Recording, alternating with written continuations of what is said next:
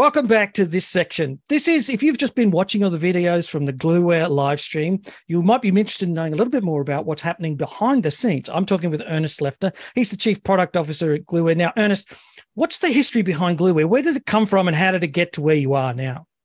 That's a, a great question. Gluware's been around for about 10 plus years. It really started out as an SD WAN company focusing on IWAN. And about four years or so ago, Olivier and Jeff turned the company towards you know this whole concept of of intelligent network automation. Hmm. And so that that growth was really back in the days of SDN. Gluware came out of this idea of, but it was unique in the sense that it was automating the brownfield. So sure. you could take Gluware and put it on top of your existing network and do the automation yeah, that's really the foundation of, of where Gluware's come from. And really what it's a big differentiator for us in the marketplace. You know, a lot of companies try to tackle the higher levels of automation, but we're really focused on on how do you talk to the devices, how do you generate all those configurations to those brownfield environments and just manage the what people thought before was the unmanageable. So when you say intelligent network automation, what do you mean about intelligent? Is that intent? Is that mystical magic? Is it AI ML? Is it? That's a great question. I, I don't have my Harry Potter wand, but I, I really like this conversation. Intent is really all about a, a, a config, a template, right? Mm-hmm. That you want to roll out. You have a vision of a network and you want to drive it out there. But Greg, you and I both know networks aren't driven out by templates, right? There's always a little bit of difference at every single device. You know, when you have a branch office or a data center router or et cetera. What intelligent is about looking at of the circumstances of every single device and maintaining it to the specs and standard that that device needs and then having the intelligence to manage that device behind the scenes without that kind of crazy manual intervention yeah. for each one so that means you can put Gluware on top of Juniper EVPN just as likely as you can across, you know, a 20 year old Cisco CLI router, if that's what you have to do, because you can read the config, manipulate it according to templates, intelligent templates that do most of the work for you.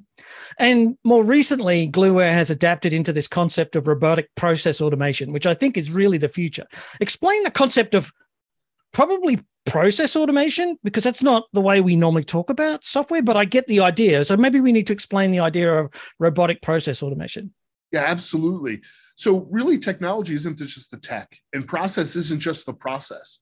So, you really need to bring those two things together. Any company's got like a change management process or a process they use to configure devices, Plus, they have the, the process they use to manage that technology.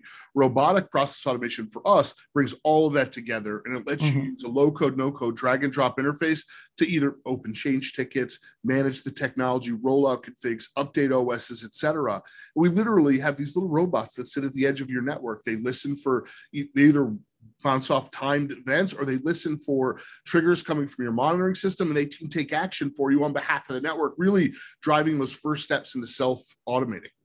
So, what you're expanding there is not just the device centric idea. You're actually saying there's a bunch of systems around the network help desk systems, monitoring systems, ticketing systems.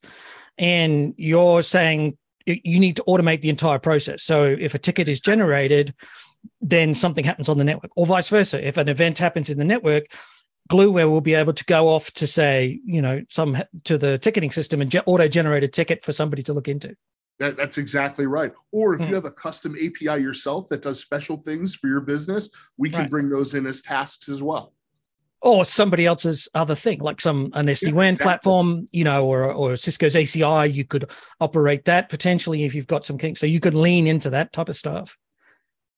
Is that also part of the DevOps then? So do you see this as part of net DevOps? Yeah, absolutely. I mean, so we uh, it part of Gluware is is what we call Gluware Lab, which is our IDE environment, and that's our internal CI/CD environment. It's what we mm. use to develop the product. It's what you could use, Greg, to develop the product, and mm. you hmm. can bring that net DevOps approach directly to your environment out of the box. How much work do I have to do to do this? Like one of the keys here is that if I'm going to poll somebody's API, I don't want to be sitting there reading the API documentation and working out every bit. I want, I, I imagine the term robotic means that there's a lot of this tasking is already done for me. Have you done some of that work? Absolutely. So uh, we approach it a couple ways. First, you know, in the interim, we have uh, an integration with StackStorm, which gives us access to 167 integrations. Mm-hmm. And on the second half of that is we have what we call API endpoint support. You know, Olivier is a real smart guy, and mm. he built an automated way to to point our interface at your API, digest all of those calls, bring them as features within Gluware, and then surface them as tasks within RPA. So you could bring your own API and we'll learn it for you. So you're heading towards no code then? Just yeah. sort of drag and drop, click, you know, you get a GUI console, you can commit um, really simple automations very quickly just from the web browser interface. That's that's exactly right. Mm. But equally, if I remember, I'm thinking of the because we've been talking on and off over the years. Gluware also lets you go all the way down to the CLI and use templates. So you could still, you know, hit the CLI on iOS or Junos and still be cutting away there. But other times you might just be using a no code environment and dragging and dropping existing tool chains and boom, away you go. That's exactly right. Matter of fact, that RPA takes you so deep. There's an interface that shows you a log. We call it the crash replay log. It hmm. gets you into the nitty gritty of everything that's happening. And if like a workflow goes off, uh, you know, goes off the rails, you can see exactly where it went, why it broke, and, and what you need to do to fix it. Okay. So is this really evolving? Where's where's Gluware going from here? You've got the robotic process automation, you've got the tool chain, and the thing the thing here is that it's multi-vendor, multi-technology. You can basically ingest any technology. So a customer could come to you and say, "Oh yeah, like you've already got like 40 vendor operating systems as part of your platform, but you could say, "I've got some weird device. Can I still customize myself? Can I do it myself for that?" Absolutely. We so we generally do the onboarding of the devices for you. It can take about two to three weeks in order to in order for that to finish the entire development environment. Um, but that's we're focused on horizontal scaling. It's about you know we feel like the network's in a good place. Let's look at security. Let's look at AI, et cetera. That's where mm-hmm. we're expanding.